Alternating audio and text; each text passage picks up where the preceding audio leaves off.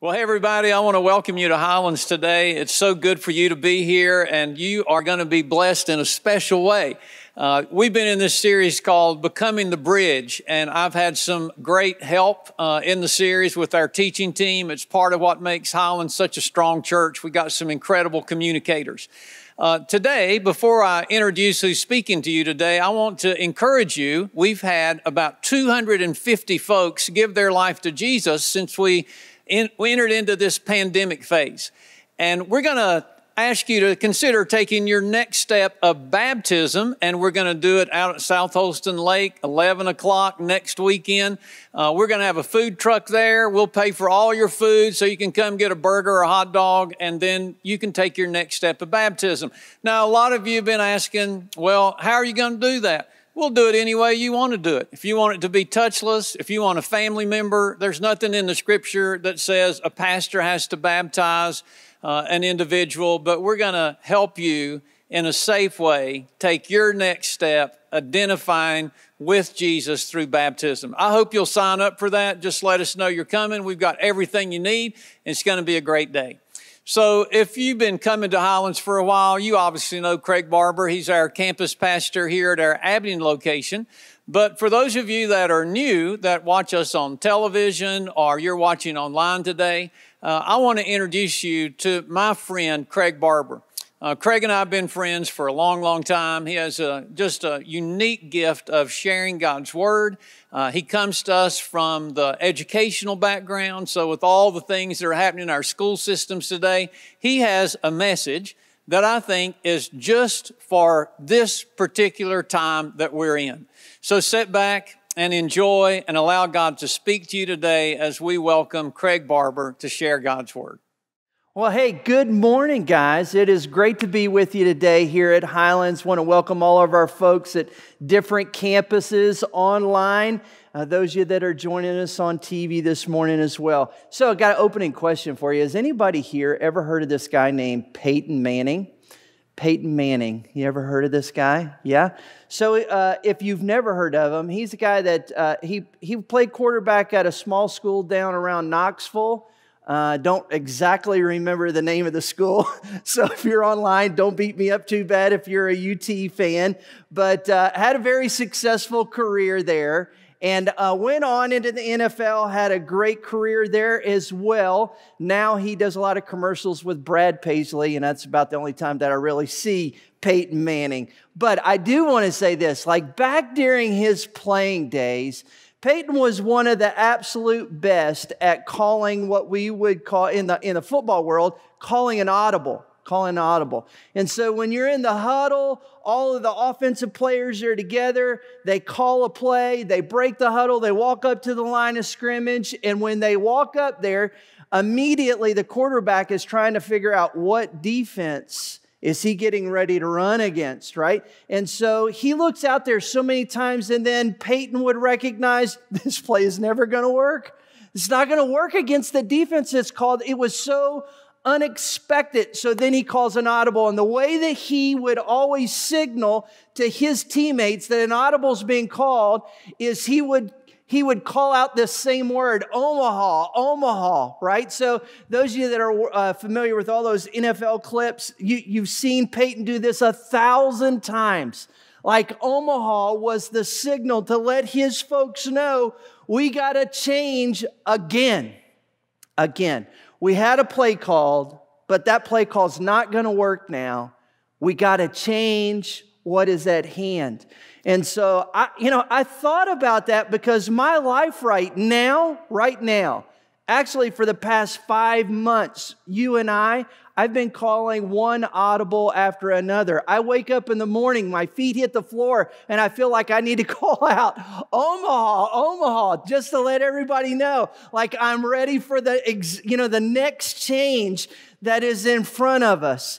I mean, I wonder every Tuesday and Thursday. I live here in the state of Virginia, so we're all wondering what did the governor say today?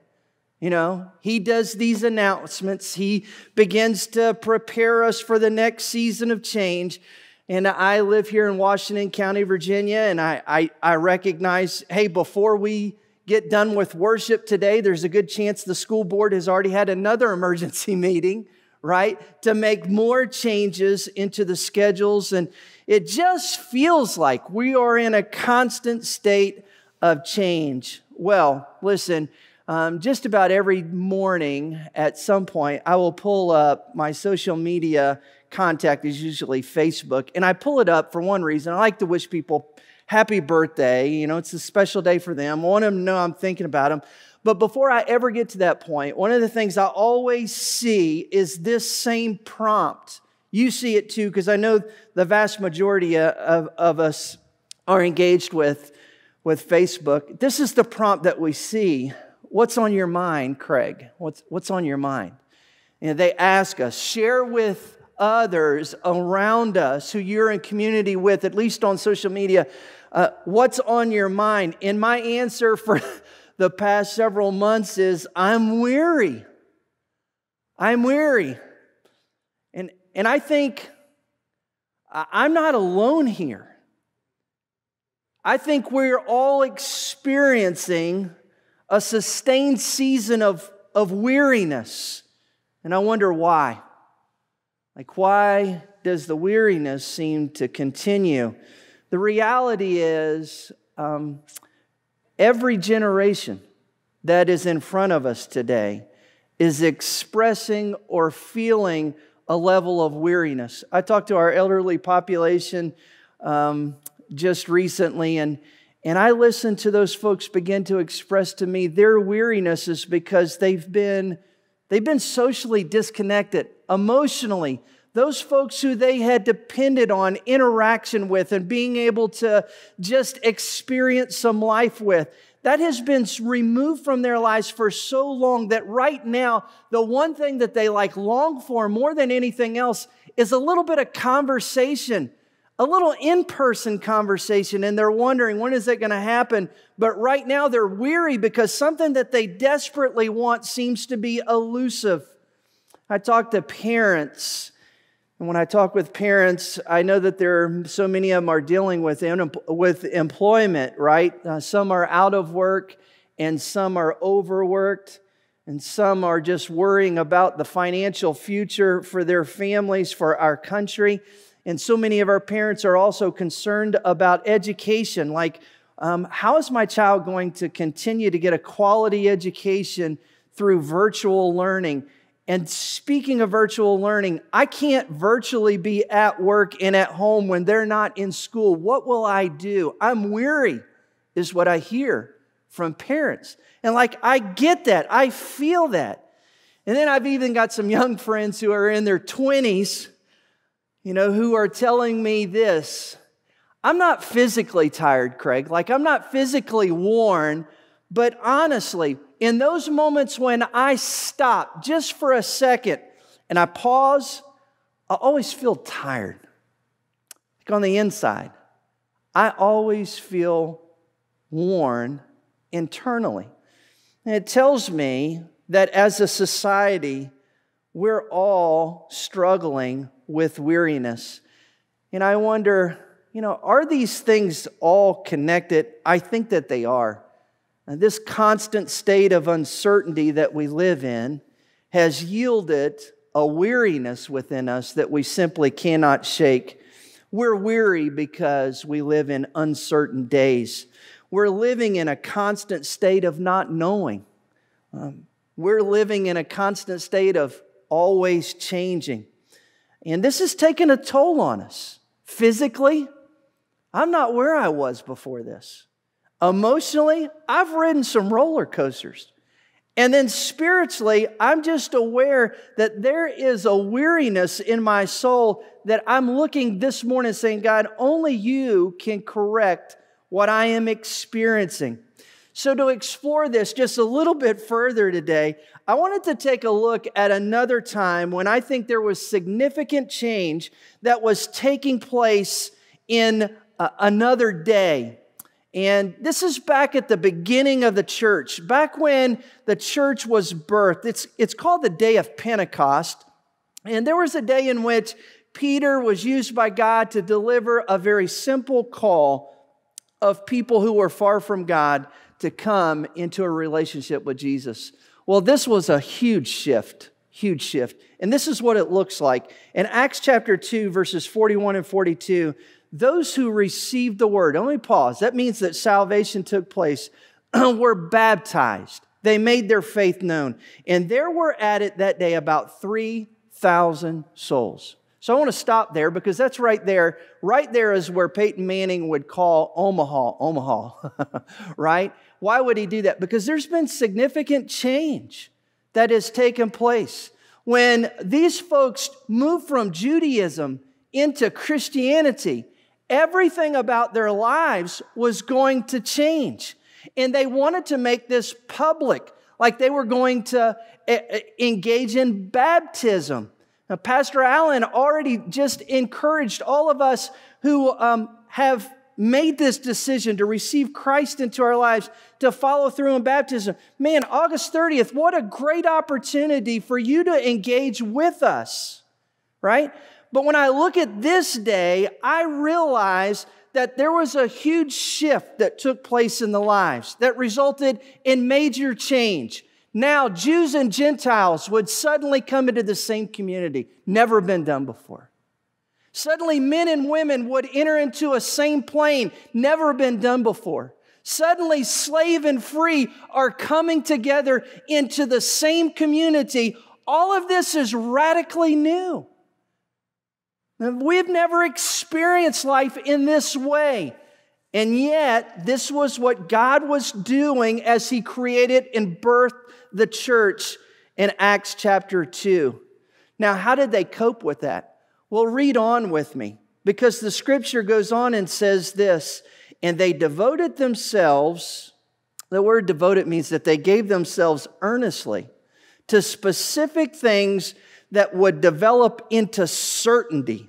These are those things the apostles' teaching, that is, that they continued to learn what Jesus had taught them and had been shared through the, the apostles. Fellowship, that's the community together. Breaking of bread, which was communion, and also sharing meals and praying for one another. Those things became the certainties in a very uncertain day as the church was being birthed. So, how did they cope? And this is what they did. They began to order their lives around common rhythms or behaviors known throughout their new community. We're no different. Like, I'm looking at the day in which you and I live, and I realize in our loss of all that used to be normal, what will we now do? Like, what can take place in my life that has caused me to feel so weary? I think we approach it the same way. We have to build some certainty where we have only known uncertainty. And I think if we can, and if we do this right, we can be God centered while the world feels very off center. So I want to speak with you today. What are some certainties that you and I can build into our lives regardless of what's going on around us? Regardless of what the governor builds into our schedules, regardless of what the school changes about our schedules, regardless of what happens with employment and all those things, what are some certainties that you and I can engage in that allow us to build certainty into an uncertain day? I want to share four things with you. Here's the first a time to abide. A time to abide. Now, that's something that you and I have some control over building into my life a time to abide. Now, this is first on my list, gonna be honest with you, it's oftentimes the first to go. It's often the first thing that begins to slide. When uncertain times come, all of a sudden we're just kind of caught looking at everything that has just changed. And suddenly I realized I'm not abiding anymore. What do I mean by abide? Well, John 15, verse 5 says this, and this is Jesus speaking. He says, I'm the vine, you're the branches. I want you to think about that illustration that Jesus shares. And he shares it for this reason a branch needs the vine. What he's saying is, you and I were created to need a relationship with Jesus. Like, I, I don't operate well without him. He goes on, he says this Whoever abides in me and I in him, he it is that bears much fruit. There's a big difference in the life of one who is abiding with Christ than the one who doesn't. Why? Because later on it says, apart from me, you can do nothing. So you and I have this, uh, there's two radically different outcomes here one of much fruit and one of nothing. The difference is just abiding and not abiding. What does the word abide mean? The word really means to remain present. You might write that down this morning. What Jesus saying, is saying here is, Craig, in uncertain times, here's what I want you to do. Here's a constant that I want you to build into your life remain present with me. And I had to stop and think, is that happening in my life. Now, I, I want some of you to really listen closely because I know when I ask and I try to engage in conversation with others, those that I'm doing life with, and, I, and I'll say, hey, man, tell me about where you are in remaining present with Christ right now. A lot of times I'll hear people tell me, man, I'm reading devotions, man, I'm listening to podcasts. And, and this is what I'm gonna say I think all of that is great. You know, the podcasts, the devotionals, those things are great. But you're borrowing from somebody else's time when they were present with Jesus. And it doesn't satisfy the need of my soul to be present with Him personally.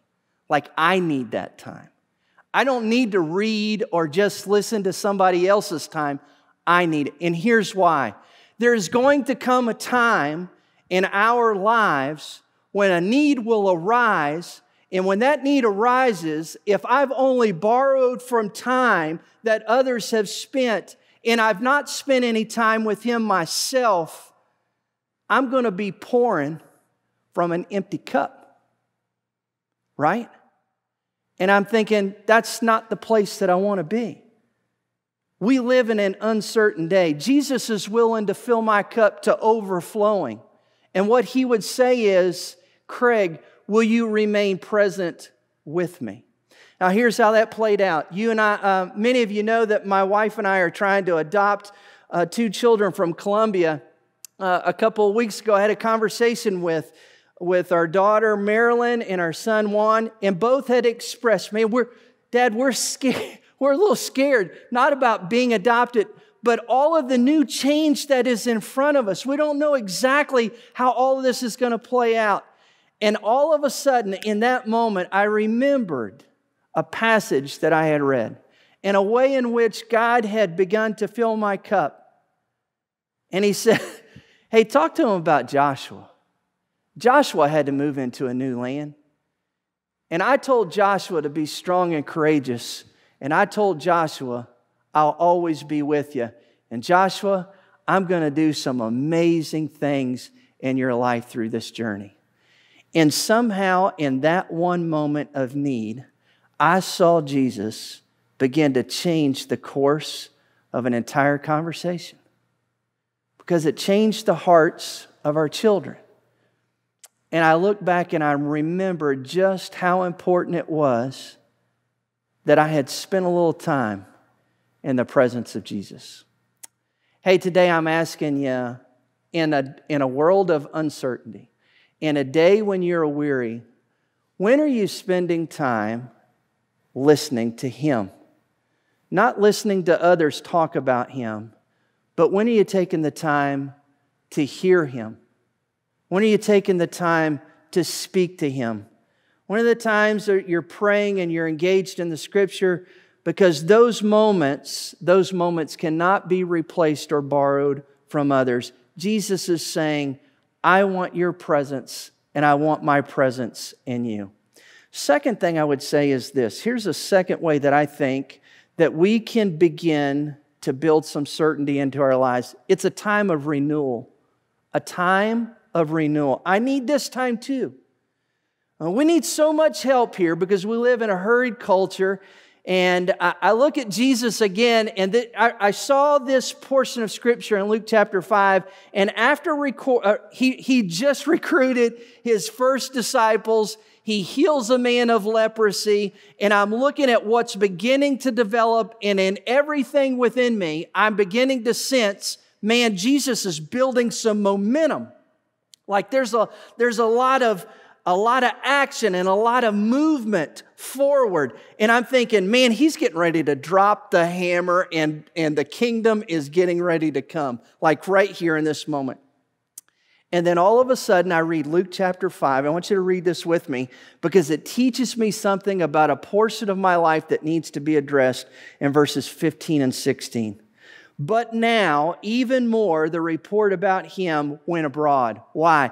There's some, hey, there's some cool stuff happening around Jesus and through Jesus. And great crowds gathered to hear him and to be healed of their infirmities. Right? You see what I'm saying? Momentum is building, but he would what? He would withdraw to desolate places and pray. Like, I'm like, wait, what? what, what does that say? He would withdraw, that was the time to hammer down, right? Not to disengage, but that's exactly what Jesus does. Why? Jesus knew, Jesus knew that we needed this example because you and I seldom know when to say when. We don't know. Like we constantly replace busyness with more busyness. I want to be honest with you. Since the pandemic, some of us don't even know when to go to bed. and we're the adults. you know, we're the adults, and we don't, we don't know when to turn the TV off and go to bed so that in the morning we can surge into a new day. Some of us really, in the midst of this pandemic, because every day started looking like the next day, some of us lost track of what day of the week it was. And because of that, we forgot to experience a Sabbath or a day of the week in which we are to rest and to gain some renewal. I had a conversation with a lady just recently who said, On your Sabbath, what do you try to do? I said, Nothing. Like nothing, honestly. And I'm not going to feel guilty about it. Seriously, like on a day of the week you do, I honestly try to do nothing. Now, there's a different day that we'll talk about before we finish this morning, but there is a day that God created when we are built to experience rest. We are not built to go nonstop. We are not built to constantly do more. There is a time in which you and I are called to detach, to disconnect, because until we do, we cannot recharge or be renewed. I wonder in your life, like, when does that happen? There was every reason when I read Luke chapter 5 that Jesus should have continued to press on and do more, and you got to seize the moment. I, and I hear all that in our day. But that's not what Jesus did. Jesus pulled back and he began to teach his disciples to do the same thing. And I would ask you, like, when do you go to sleep? When do you build that into your schedule? When do you Sabbath? When do you take a day of rest? When do you turn your phone off? When do you turn off social media? When do you pull away from all of those things and allow yourself to be renewed? I, I think that there is this need in our lives to allow God to restore us or to renew us in those moments. Well, here's the third thing that I think is also necessary in our lives. And this is some certainty that I can build into. We talked about the need to abide, the need also to renew. But I, I think there needs to be a priority on connection, on connection. And what I mean by connection is building into the relationships around us. I want to check out these words from Paul to Timothy. And I want you, you know, as I read 2 Timothy chapter 1, verses 3 and 4, I'm going to ask you what's missing here. The passage says this this is Paul writing to Timothy, as I remember you. You know, imagine this. As I remember, this Paul speak constantly in my prayers every night and every day. I, as I remember your tears, I long to see you, that I may be filled with joy. And I asked what was missing, but really I should have said who. Who's missing in this verse? And Paul would say is Timothy. Like, I think Paul can think back to that moment in which he last saw Timothy physically. And I think he sees him. He remembers all of the experiences that they had in the past, but he remembers the moment of their departure, that moment in which we say goodbye. And I will long to see you again. And, and that's the moment that I think draws Paul to tears. He remembers Timothy's, and he says, I long to see you. I think that you and I are relational creatures. Uh, we were built, we were created to experience relationship with one another. One of the things about this uncertain time that you and I have experienced is a lot of isolation. From a mask to social distancing to quarantining, all of these things have created greater and greater distance in the midst of lives that were meant to do life together. And so it was very difficult for me to read this passage and not at the same time remember my last connection with my grandpa on this side of eternity. Because it was a scene very, very similar. There were no words exchanged. He had too many tubes, but his eyes were open. And I can remember I can remember to this day the tears that rolled down his cheeks as he looked at me with clear eyes. And I knew what he was telling me. I love you. I long to see you and be with you. And I wish like crazy. I drove here this morning and I was just remembering those moments with my granddad. I wish I could capture one more today, like one more today. But I can't for now, but I do know that there will come a day when my joy will be filled again and I'll see him. Now, for those of us who are still here in this journey called life, this is what I'm going to say. I think Paul so wanted that relationship with Timothy. Don't you like you're reading it? I long to see you. Like I, I want, I'm going to tell you, man, sometimes in everything that's going on in our lives right now, it's very difficult to find it, but I'm going to encourage you to fight for it. Like, fight for it. Fight to keep those relationships connected because they're vital to our health. And emotional connection is something that you and I desperately need. I would ask you today who do you long to see? For you, who is it? When will you see them? Like, when, when is it going to happen? And, and how does it have to happen? Are you able to see them? Do you have to pick up the phone? Is it a virtual meeting? Whatever it is, man, don't put it off. I would say fight and press in. You're never going to regret the time that you engage in connection. Uh, it's amazing to me that we live in this time frame in which just it seems as though day after day, uh, it, it all just kind of melds together. But honestly, don't let the connections of life drift away. Build in to those relationships. Well, lastly, I want to share with you, I think there is also something that is a necessity in life, and it's a time to work. It's a time to work. Now, contrary to what some may think today, work is actually healthy. yeah, and it's necessary in life. Um, I really believe that the Bible teaches us that able bodies and able minds are called to work if they want to eat, right? You want to eat and you can, we ought to work. Equally important, though, listen to me, equally important to this concept of work is that it needs to be kept in check. Like work left unchecked will consume our lives. Both sides of that coin are revealed in this passage from Solomon. Look with me at Ecclesiastes 2, verses 22 to 24. What do people get in this life for all of their hard work and anxiety? This is what he says they get. Their days of labor are filled with pain and grief, right? So I don't know if you've experienced that from your work lately, but this is where Solomon is. Even in their, even at night, their minds can't rest. They're still weary they're weary. It's all meaningless. That's one side of work. So I decided there is nothing better than to enjoy food, drink, and find satisfaction, satisfaction in what? And work. Like I'm reading that, I'm going, Solomon, seriously, man, what is going on? You've given both, both sides. You're saying that work, work at times just causes great grief in your life, and at other times it yields great satisfaction. And he concludes by saying, I realized that these pleasures are all from the hand of God.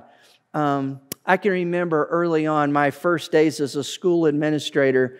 Um, walking in, and I was determined as I moved into this new job. I was still in my uh, late 20s, and I was determined I would get there before my boss and I would be there after he left. I wasn't going to let, I was going to yield to him. I will, I will outwork. I will do everything necessary to let him know that I am here to get this job done. And I remember it was several months in that he finally came over to me and he said, Hey, I get what you're doing. I do. And he said, I appreciate your, your promptness. You're here before me. I appreciate your dedication. You're here after me. But this is what I'm going to tell you, Craig. If you want to be here for the long haul, you got to work the job and don't let the job work you. I, mean, I walked away from that and I thought, that is true. Now, there's been times when I've got that right, and there's been times when I've not got that right. And I think that's exactly what Solomon is saying here.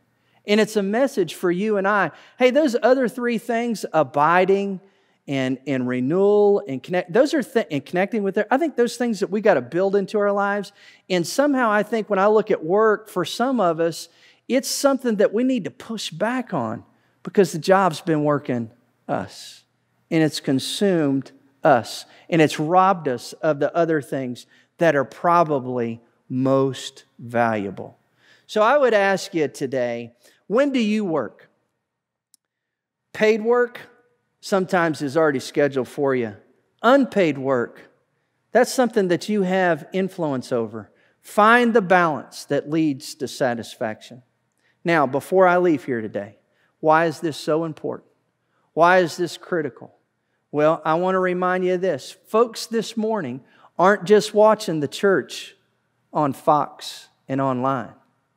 No, faced with the same uncertainties that you and I are faced with, and feeling the same weariness that you and I feel this morning, they're watching us as the church.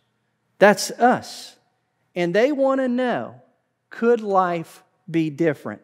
And here's the truth that I'll leave you with our ways speak so much louder than our words. Our ways speak so much louder I want to go back just for a second to the early church and see what happened when people began to live a different way and not just yield a different message. Day by day, this is in Acts 2 46 and 47, they were attending the temple together. They were breaking bread in their homes. They received their food with gladness and generous hearts. They were praising God. And then notice what happens because all those things had been built into the way that they lived their life, this is what happened. God caused them to have favor with all the people. Well, what happened? I didn't see that they went out and started preaching great messages, that they started developing incredible worship services. But the way that they lived their lives created a favor in the community in which they lived. And then this is what happened the Lord added to their number day by day those who were being saved. Now, I, may, I realize you may not hear this every day at church, but weary people want to see people who are living a different way more than they want to hear about how great your worship was this past Sunday. They want to see somebody live in life different more than they want to hear how clever your pastor was in his last message. That's what they really want to see. They're thinking if your faith is real, Craig, if your faith is real, I want to see it in the way that you live.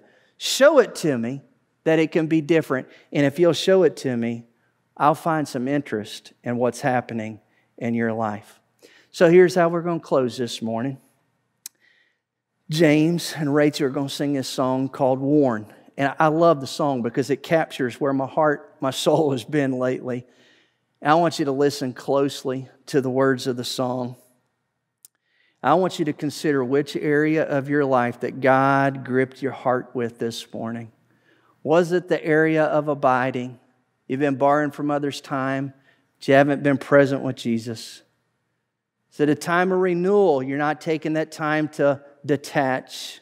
Is it a time of connecting? Is there somebody that God's gripping you with this morning that you long to be with? And it is your work. You're not in balance there. Where will you begin? And where can you get specific? How can you pray specific this morning? Listen to this song.